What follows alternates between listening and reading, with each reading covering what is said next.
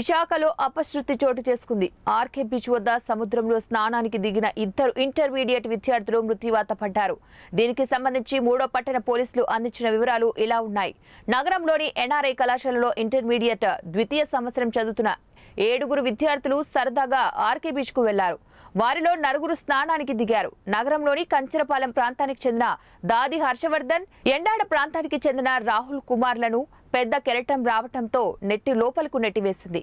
పక్కనే ఉన్న గజ ఈతగాలు ఈ విషయాన్ని గమనించి వెంటనే వారిని రక్షించి ఒడ్డుకు తీసుకురావడానికి ప్రయత్నించారు. అయితే హర్షవర్ధన్ చేతికి దొరకడంతో ప్రథమ చికిత్స చేసి వైద్యం కోసం కేజీహెచ్కు తరలించారు. అప్పటికే మృతి చెందాడని అక్కడి వైద్యులు నిర్ధారించారు. ఎండాడ ప్రాంతానికి చెందిన రాహుల్ కుమార్ డెడ్ బాడీని ఇరవై నాలుగు గంటల తర్వాత ఆలస్యంగా సముద్రం నుండి ఒడ్డుకు కొట్టుకు వచ్చింది. ఇరువురు విద్యార్థుల అకాల మరణంతో వారి కుటుంబ సభ్యులు తీవ్ర విషాదంలో మునిగిపోయారు.